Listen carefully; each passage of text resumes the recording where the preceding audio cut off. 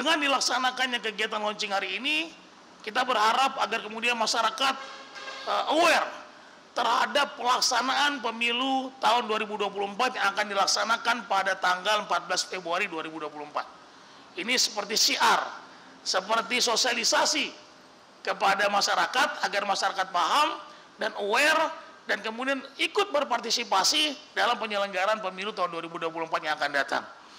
Bapak Ibu sekalian saya hormati, saya kira itu yang bisa saya sampaikan.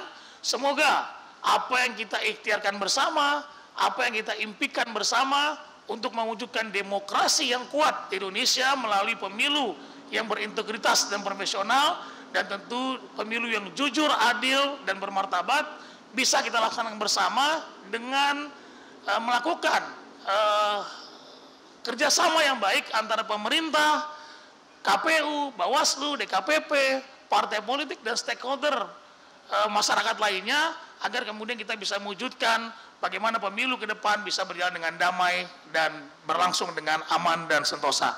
Saya kira itu, terima kasih.